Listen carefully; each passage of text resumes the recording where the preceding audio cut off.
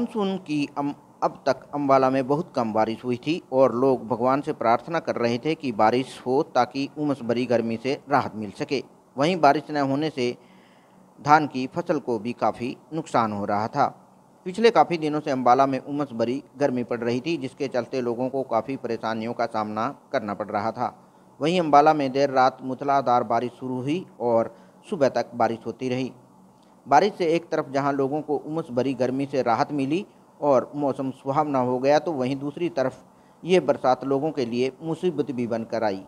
बारिश के कारण अम्बाला की सड़कें और गलियाँ दरिया बनी नज़र आई। जिधर भी नज़र घुमाओ, पानी ही पानी नज़र आता है। अम्बाला वासियों को एक बार फिर पिछले साल आई बाढ़ की याद आ गई। कुछ घंटों की बरसात ने प्रशासन के सभी दावों की पोल खोल कर रख दी। बारिश का पानी लोगों के घरों में घुस गया। यहाँ तक कि अम्बाला कैंट का एसडी कॉलेज भी तालाब बना नज़र आया। घर में पानी घुसने के कारण लोगों को, लोगों का सामान भी खराब हो गया। लोगों को खाना भी पानी में खड़े होकर बनाना पड़ा। हालात ये थे कि लोगों का घर से बाहर निकलना भी मुश्किल हो गया। लोगों का कहना है कि इस कॉलोनी में डेढ़ करोड़ का प्लाट मिलता है और हालात ये हैं कि कुछ घंटों की बारिश में ही बारिश का पानी घरों में घुस जाता है।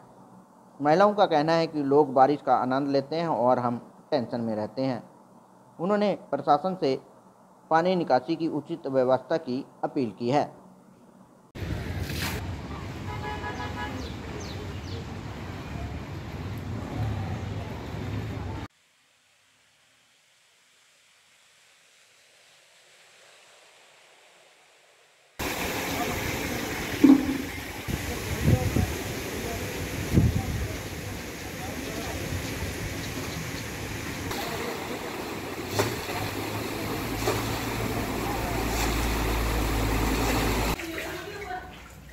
जला दे रेते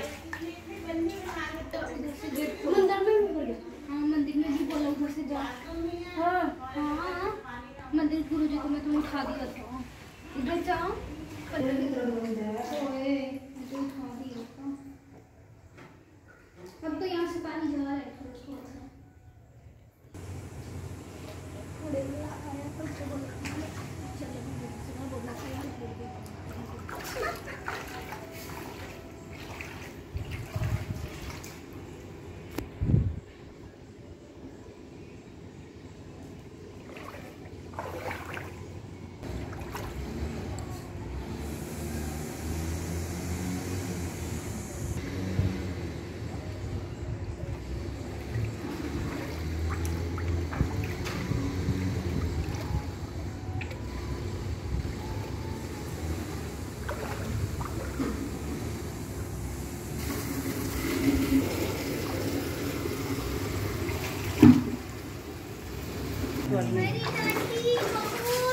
हाँ आंटी की। चंद घर में पड़े मम्मी दी आंटी की हाँ भी लाल ये इन्फेक्शन बहुत देखो बुरा हाल है। कैसे किचन में गंदगी कितनी है?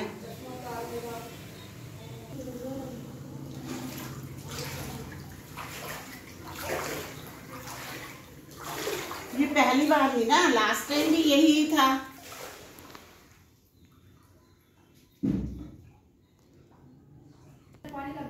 और अभी ना जब ड्राई क्लीन कराए ने पाँच पाँच हज़ार रुपया दे के करता ना फिर।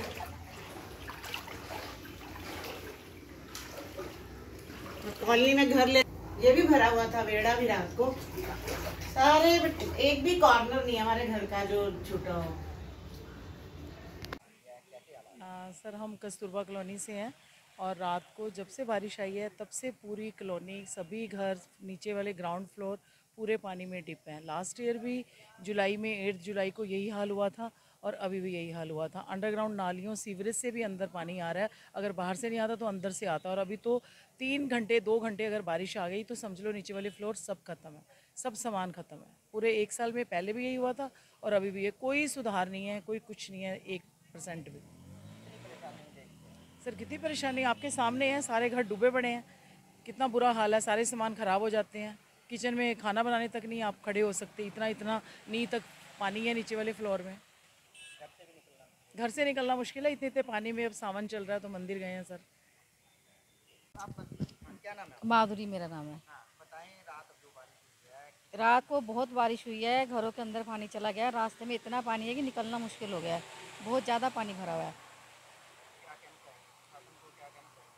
बस पानी का कहीं निकास बनाया जाए, क्योंकि घरों में परेशान है, सामान बर्बादी हो रही है, बहुत ज़्यादा, पानी बहुत ज़्यादा हो रहा है, रास्तों में भी, घरों के अंदर भी पानी बहुत ज़्यादा घुसा हुआ है। गलियों में गोड्डे गोड्डे पानी भरा हुआ है। हाँ मेरा नाम सीमा नागपाल है। हम कस्तूरबा कॉलोनी पैंतालीस नंबर में रहते हैं। सर, हमारी ये प्रशासन से दरखास्त है कि हमारी इस समस्या को समझा जाए कि रात को सिर्फ़ डेढ़ घंटे की बारिश आने से हमारे पूरे घर में पानी है। कोई भी घर का एक कॉर्नर नहीं है जिसमें पानी ना हो। हमारा देखो लास्ट टाइम भी जब 11 जुलाई को आई थी तब भी हमारा बहुत नुकसान हुआ था और अभी भी आप समझ लो कि उतना नुकसान अब भी होगा। जब बारिश आती है एवरी टाइम यही हो रहा है तो प्रशासन को कुछ हमारी मदद करनी चाहिए। जब बारिश आती है तो कहीं ना कहीं एक टेंशन दिमाग में होती है बिल्कुल वो तो है ही। बारिश आती है लोग इंजॉय करते हैं हम उसके बावजूद परेशान हो जाते हैं कि भाई अब क्या होगा पानी भर जाएगा। अब हमारे पास तो फिर भी ऊपर रहने की जगह है। जिन पड़ोसियों के पास ऊपर रहने की जगह नहीं है उनका सोचो क्या होगा। आने हमें आने जाने में असुविधा हो रही है दुकानें बंद हैं गाड़ियाँ भर गई हैं पानी से। तो हमारी ये घर से निकलना हमारे लिए बहुत ज़्यादा मुश्किल हो गया है। मैं प्रविंदर सिंह परी अम्बाला छावनी का ही निवासी हूँ। आप सुभाष पार्क के साथ वाली सड़क में हम खड़े हैं। अगर आप यहाँ भी देखेंगे सुभाष पार्क का, सुभाष पार्क का भी आप हाल देख सकते हैं। मात्र एक घंटे की बरसात ने पूरा तैश नैश ऐसा लग रहा है कि पूरा अम्बाला छावनी तैश नैश कर दिया हो। इस पी, मेरे पीछे अगर आप देख रहे हो तो सुभाष कॉलोनी भी एक Kasturba Colony, Subhash Colony, Housing Board Colony, Ramnagar, Govind Nagar, Preet Nagar, कोई भी एरिया मिल के पीछे का इलाका, अगर मैं बात करूँ, एकता विहार कॉलोनी की बात करूँ और अगर मैं बाज़ारों की बात करूँ, विभिन्न बाज़ारों की बरसात बात करूँ तो मात्र एक एक घंटे की बरसात ने सरकार की पोल खोल दी।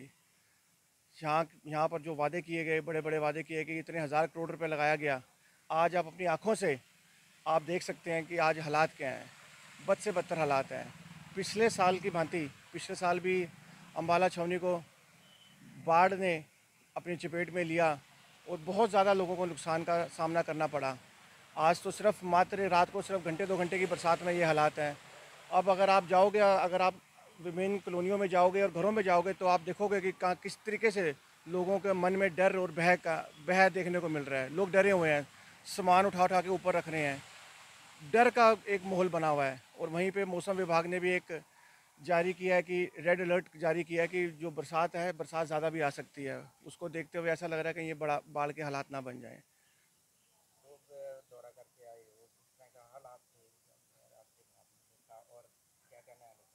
देखो, अब किसी घर में तो मैं ये बोल रहा हूँ, कई ऐसे घर हैं जहाँ पे चूल्हा भी नहीं जला अभी तक तो घरों के अंदर पानी भरा हुआ है। तो हम अभी अपनी टीम के साथ अभी दोबारा निकलेंगे और जिस घर में अगर हमें लगता है कि जिस घर में कोई राशन का या दूध का या कोई भी ऐसा छोटे बच्चे भी घरों में हम देख के आए हैं कि हैं जो सुबह से भूखे प्यासे बैठे हुए हैं। तो जो कुछ होगा अपनी टीम के साथ हम यहाँ पहुँचेंगे, वो राशन का प्रबंध कराएँगे। लेकिन बड़ा, आज मैं बता रहा हूँ, बड़े दुखी हृदय के साथ मुझे बोलना पड़ रहा है कि ये अम्बाला का विकास है, ये अम्बाला के हालात हैं।